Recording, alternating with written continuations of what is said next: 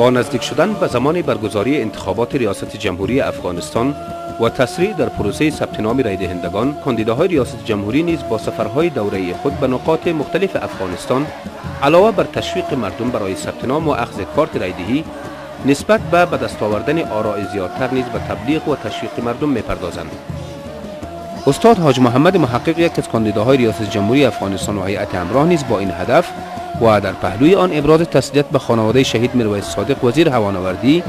و دیدار با مردم ولایت هرات در یک سفر چهار روزه به تاریخ 23 حمل 1383 عازم آن ولایت گردید.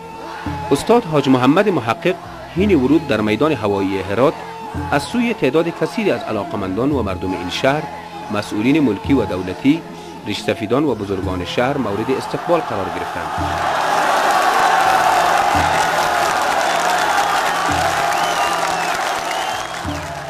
مستقبلین که ساعتها در مسیر تردد استاد محقق و هیئت همراه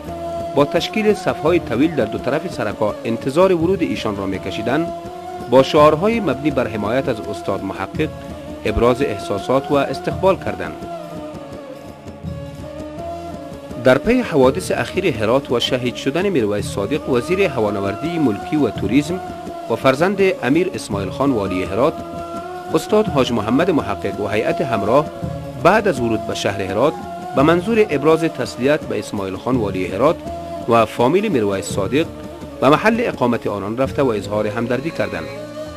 آمین برحمتك یا ارحم الراحمین.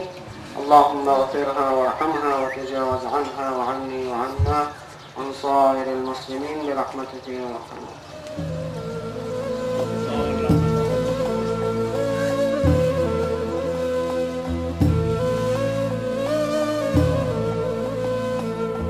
سفر استاد حاج محمد محقق که همزمان با اربعین حسینی و ایام فاتحگیری شهید میرویس صادق وزیر هوانوردی مصادف بود. ایشان و هیئت همراه به مسجد جامع هرات رفته و در جمع هزاران تن از شهریان هرات که از قبل در آن مکان تجمع کرده بودند حضور یافت.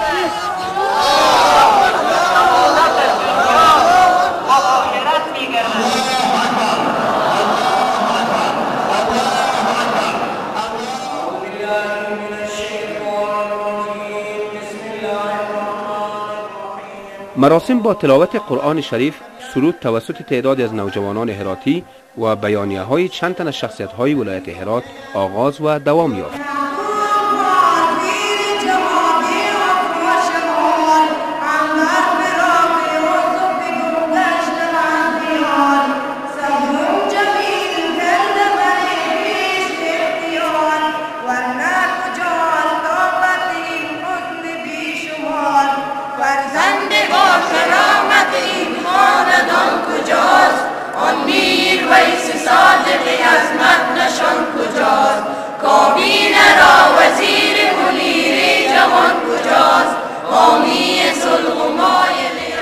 آنگاه استاد حاج محمد محقق به سخنرانی پرداخت. وی در بخش سخنان خود با اظهار تأسف نسبت به شهادت وزیر هوانوردی اوضاع سیاسی و نظامی کشور را بعد از سقوط حاکمیت طالبان تا کنون به بررسی گرفته و گفت با وجود حمایت جامعه جهانی از افغانستان و روی کار آمدن حکومت انتقالی باز هم زنگ خطر برای این کشور و مردم شنیده می شود اما پس از دوره صلح پس از دوره آرامش انتظار از این می‌رفت که بعد از اینکه تفاهم ملی پیش آمد جامعه جهانی پای خود پیش گذاشت و جوانب مختلف سیاسی افغانستان در جلسه بن دست به دست هم دادن و یک اداره واحد را تشکیل دادن انتظار از این می‌رفت که دیگر مادر به سوک فرزندی پدر به سوک فرزندی و همچنین فرزندی به سوک پدرش. و صدای ناله یتیم و بیوه دیگر ولی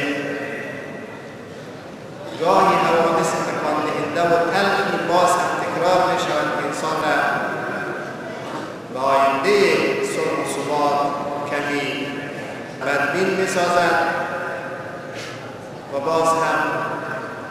زنگ خطر و صدا میاد که هنوز هم فصل صلح و صبح.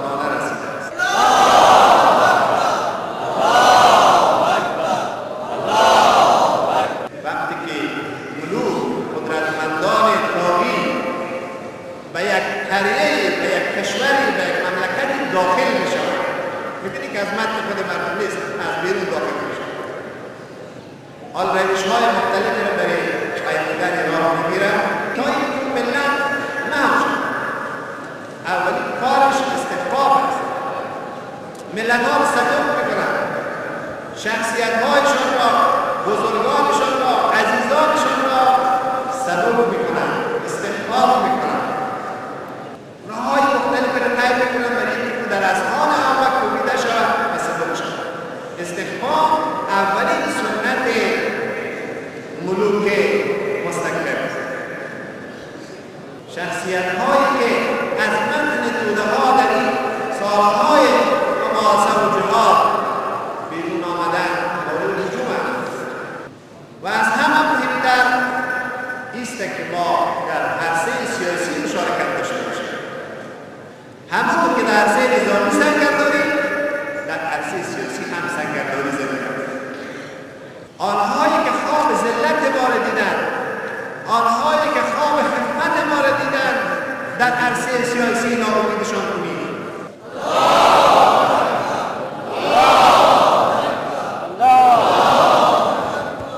استاد محقق در بخش دیگری از صحبتهای خود با مردم هرات با آنکه مردم را در مقابل حوادث و توطئه های عناصر و گروه های بدخواه به هوشیاری و پایداری دعوت می‌کرد